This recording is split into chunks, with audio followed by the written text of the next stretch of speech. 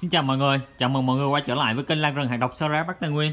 Thì à, hôm nay bên em có về được một loại địa lan và địa lan này có tên gọi là địa lan Sato nhé mọi người. À, đây là một loại địa lan à, khá là đặc biệt. À, cái à, thân lá của nó thì giống như cái dòng kiếm lá mỏng nhé mọi người. Và đặc biệt cái thằng này á, thì à, nó hiện tại là có một số dê thì đang có vòi nụ nha. Đó, và nụ đây. Thì các bác anh chị về chăm thời gian nữa là chúng ta chơi hoa luôn và cũng ờ, kịp để chơi hoa Tết. À, cái thằng địa lan Sato này thì hoa rất là bền.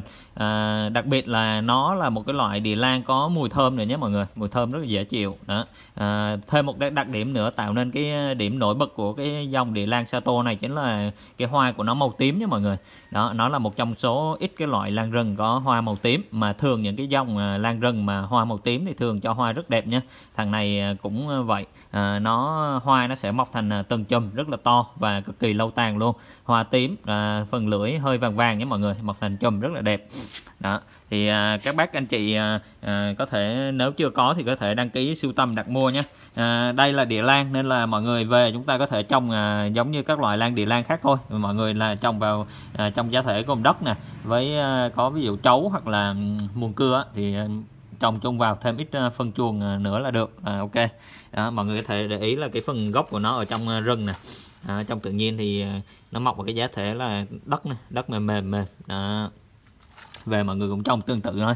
Thằng này thì khá là dễ trồng thì các bác anh chị à, cứ về trồng vào chậu đất thêm ít à, dớn hoặc à, ít dớn hoặc là chấu à, là được nha rồi thì à, giá của một phần đây thì có giá là hai trăm rưỡi nhé mọi người hai trăm rưỡi. Và lúc à, quay clip thì em để dài vậy tuy nhiên là lúc gửi đi em sẽ cắt ngắn bớt nha.